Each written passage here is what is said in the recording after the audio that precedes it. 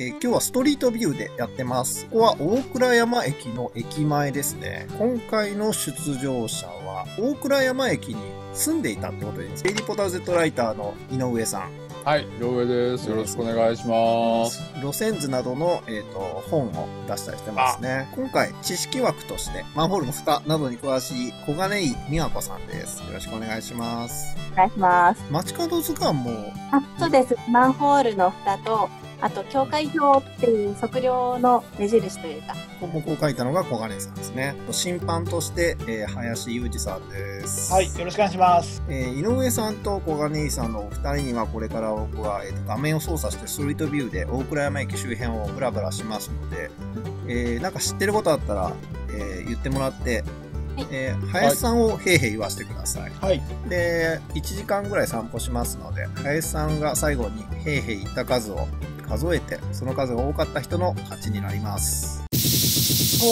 有名なところとしては、から左がエルム通りって言って、ギリシャの街並みを模してるんですよ。これですか？確かに柱とか。なってますね。柱とかが。はいはいえー、でも松屋とか入ってるんですね。そう、そうなんですよ。建物が 松屋だで、ギリシャっぽい松屋がね、こうあるんですけど。すごいギリシャっぽい松屋だ。もともとはもう商店街で30年ぐらい前に人起こしじゃないですけど商店街を盛り上げるためにこのギリシャ風の街並みにしようっていうえ電柱とかも地下化して、あ、本当だ。うん、綺麗ですね。綺麗なんですよ。そう周りの建物のレギュレーションを全部決めたんですよ。軒の高さとかが全部同じとかなんかなってるやつは僕あの柱があの神殿っぽい。これ、これ何柱って言うんでしたっけ？すごいですね、これね。ここだから通りが大体その協力してる建物はこんな感じになってるんです。エルム通り、えーとギリシャのアテネに同じ名前の通りがあるって言ってました綱島にもね、なんとか通りってありますね。そのパリ、そういうことやりがちなんですね。ありがちな なんかこう行政が指導してと主導してとかじゃないらしいんですよあ自分たちであその屋根の上のその三角っぽいのとかもで高さ同じじゃないですかこの上のうんああ、本当だ。揃えてるんですよねーマンホールとか一切見えないですね。ちょっと見てみましょうか。NTT、マイク、マークがダイナミックループ。あのくるんくるんくるんってやってるやつです地下に何か電話線ってことなんですか？あ、そうです。そうです通信線が入ってて、メンテナンスの穴ですね。なるほど。マンホールって NTT の蓋ってこう四角か丸かったりするんですけど、マンホールの蓋ってなんで丸いかってご存知ですか？調べたことが 落ちないようにですよねはい、おっしゃる通り。えっと NTT の蓋ってたまに四角いのもあるんですよ。そうそう確かにあります。蓋を救出できるぐらいの浅さなのああ悪いのは落ちてもらったら困るぐらいあの中には地下鉄ぐらい深いところにあるのもあるらしくて。ええ。すみません、基本的な話なんですけど、マンホールって、はい。あもう電話線だったら、こう下にああいうのがこう横に通ってるのは電話線だけなんです場合によるらしくって共同溝みたいにかああの穴なんですけどあのこう一部場所を借りて天井に違うあ通ってるみたいで整備されてるとこは共同溝っていう一個の穴に NTT があるじゃないですか。で向こうにあるのはまた違うやつなんですか？この距離だと。この距離だと NTT のこともあると思いますしこんな近くても。大体30メートルぐらいごとにこれ下水かな？これ下水ですね。この粗さでわかります？石型の浜って言って、はいはいはいはい。地紋っていう模様も横浜の Y と O で組み合わさってできてる地紋なんでああこれまだ続いてますね。この。結構これ続くんですよ。こういうところの守備範囲ですか？これも NTT ですこれ NTT ですね。四角い。四角い蓋はあのさっきの丸い蓋と比べるとこう浅いところにあると。これは？消火うんカラーですね、消火栓消火栓はそういうオレンジというか黄色に塗りなさいっていうのがあそういう。そうなんだ。へえ。こうやって見るとマンホールっていっぱいありますね。星みたいになんか一個見つけるとうわーっていっぱい見える感じ ああちっちゃいのもありますね左のでっかいのが下水の蓋なんですけど右のちっちゃいのが下水道。あれ、ベイブリッジですよね。横浜市のマンホール、ベイブリッジ。これが下水道なんですか？はい、下水道です。あの1.3って書いてあるのが多分管の深さで、へこの、え1.3メートル下にこういうあの管の絵が横に書いてあると思うんです。えあ、これ缶の絵なんだ。へえ。この落書きみたいなのが。工事をする前とかにあの埋設物の調査をしてこういうペイントをするんですけどだからロロケハンですよね、ロケハン。右側に小さいのがなんかこれは上水道の止水栓回すやつですか？はいバルブだと思います。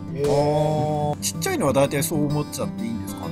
あ大体そう思っちゃっていいと思います近づくとちゃんと止水栓とか書いてあります大倉山って右側に山があるんですけど、そこはあの梅園、梅の林があって、で2月末ぐらいに梅園のお祭りが、そこのてっぺんに大倉山記念館っていうでっかい、えー建物があるんですけど、そこがギリシャ町なんで、その下の町もギリシャ町で揃えようみたいな。ギリシャだ。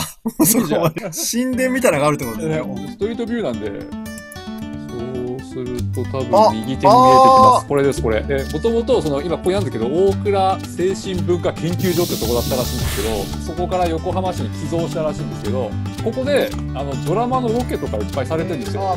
すごい立派な裁判所が出てきたらここです、みたいな。米倉涼子のリーガル V とか、相棒とかにも出して出てきたんで。石造りですごいかっこいいんですよ。この外観のイメージそのままです、中も。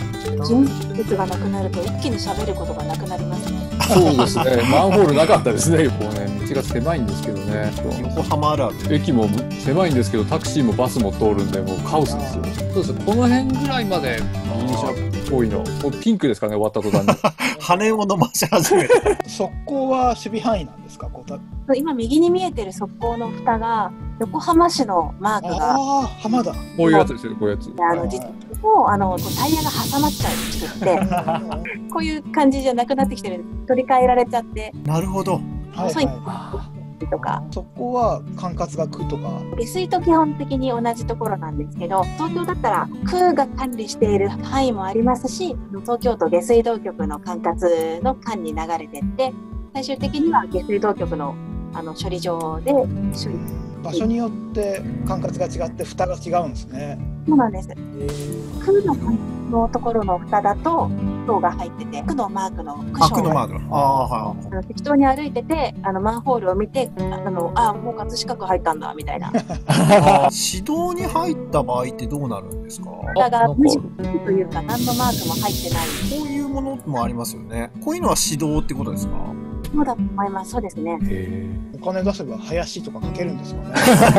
自動で自分家が前だったらはい。マイマンホールできるのかー敷地の四隅の隅っこに角々にこう境界灯っていうえの、敷地の境界を示す石が立ってることがあるんですけどはいそれに2名入れる方いらっしゃいますね。あそうなんですか。あれ入れるんですか？これは横浜市のだと思うんですけど。ああ、これ横浜市の。そうですね。浜っていうやっぱりうん石があって真ん中にちょんっていうのが通常は敷地のこう角々に埋まっうんこれは土地の端っこここですよっていう。そういうことですね。横浜市のが入ってるってことは、横浜市の土地と認知を分けて境界だと思う。でとこの歩道までが横浜市で、ここから市道なんですかね、そのマンホールが無地ってことは。ね、多分そこが市であそあっちが民地なんで、うんで画面の手前側と奥をつける境界なのか、その今マンホールがある土地と右側を分ける結構なんか、すごい情報が路上にいっぱいあるんですね。やっぱり